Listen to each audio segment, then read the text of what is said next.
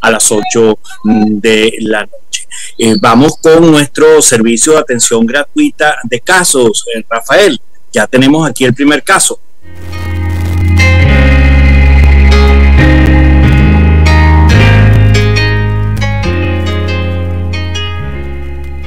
Bien, esta primera pregunta nos llega desde la ciudad de Puerto Cabello, en el estado Carabobo.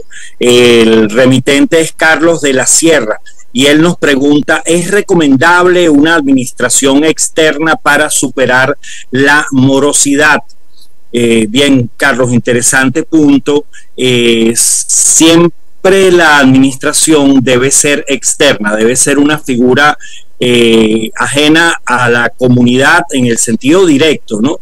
Este, los condominios tienen tres, eh, eh, según la ley de propiedad horizontal, tres importantes figuras. La comunidad de propietarios que se expresa a través de la carta consulta prevista en el artículo 23 o de la asamblea prevista, figura prevista en el artículo 24. Esa es la comunidad de propietarios. Luego está la junta de condominio que se elige, que tiene una duración de un año, tres principales, tres suplentes como mínimo, y también está la figura del administrador o el administrador o quien haga sus veces sea una persona natural, sea una persona jurídica. Eso independientemente del lugar de residencia del, eh, de ese administrador. ¿Qué quiero decir con esto? Que hay comunidades que por una u otra razón contratan a un vecino para que lleve la tarea de la administración. Eso no lo exime a ese vecino de cumplir con lo que está previsto en la ley, con todas las asignaciones que la ley pauta y tampoco lo exime, por ejemplo, de tener, de brindar garantías suficientes sobre el manejo de esos recursos económicos que va a tener al alcance de su mano. Entonces, eh, la administración siempre es una figura externa al condominio, independientemente de que el lugar de residencia del administrador que ustedes contraten sea un vecino que tenga esa actividad eh, profesional o que acepte cumplir eh, con ese rol temporalmente o, por el tiempo que sea necesario, pero es, y en ese momento él pasa a ser una figura externa, es decir, pasa a ser un contratado, ahí hay una relación, hay un contrato, hay unos honorarios profesionales, pasa a ser un contratado de la, de la comunidad.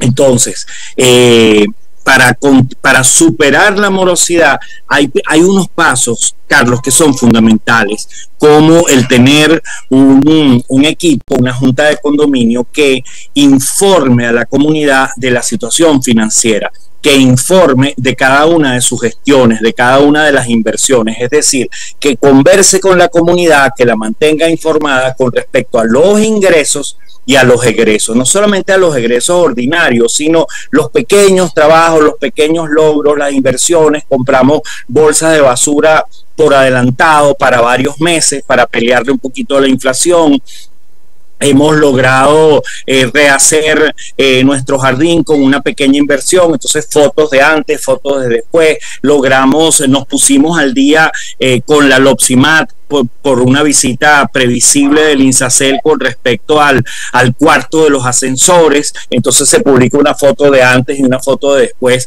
del cuarto de los ascensores para que la comunidad vea la calidad y, vea la pertinencia, vea eh, se explique a sí misma, eh, bueno, esa inversión económica que se hizo. Eso es lo primero. Lo primero que para que en una comunidad toda la todos los vecinos estén en la disposición de hacer su aporte económico, de cumplir su obligación. Lo primero es que haya un buen ambiente en la comunidad, que haya información, que haya transparencia en la administración de los recursos, de manera tal que cuando tú hables de la morosidad, bueno, eh, la mayor parte de los vecinos eh, juegue a favor de la Junta de Condominio tratando de que las personas que tienen un pequeño retraso o un gran retraso se pongan al día con la colectividad.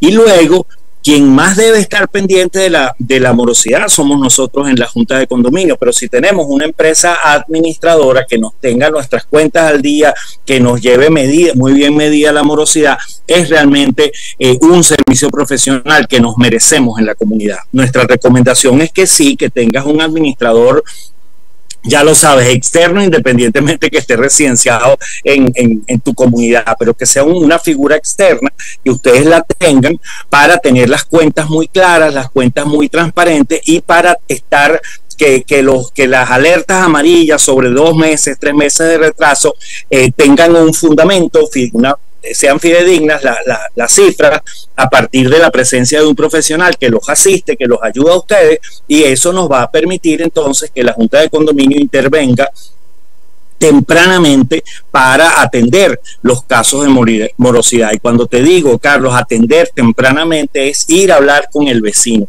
Ya, ya quizás tú conozcas acerca de esta alerta que ha dado mi condominio.com sobre el, fenómeno de la neomorosidad, esta nueva morosidad que se está presentando en muchos condominios del país, este aumento de casi un 40% en la morosidad en nuestros condominios. Y frente a estos vecinos, pues tenemos eh, que tomar eh, unas decisiones, unas iniciativas que comienzan por la conversación, por ponernos en la situación de ellos y por acompañarlos en el ponerse al día con el condominio. Allí el rol fundamental es de la propia Junta de Condominio teniendo como brazo eh, ejecutivo a la empresa administradora. Eh, pero básicamente esa, esa morosidad, esa atención inicial a la morosidad es un rol de nosotros en la Junta de Condominio. Será un gusto compartir contigo. Ojalá puedan hacer un esfuerzo desde la ciudad de Puerto Cabello para estar aquí con nosotros en el Encuentro Nacional de Juntas de Condominio, esta cumbre de antimorosidad que será el sábado de la, de la semana que viene. Eh, Carlos, espero que de esta manera te hayamos brindado la orientación necesaria. Nunca hay una respuesta única, pero sí una orientación a partir de nuestra experiencia, de la sistematización de la experiencia de muchos condominios. Esta fue nuestra respuesta para Carlos de la Sierra, quien nos escribió desde la ciudad de Puerto Cabello.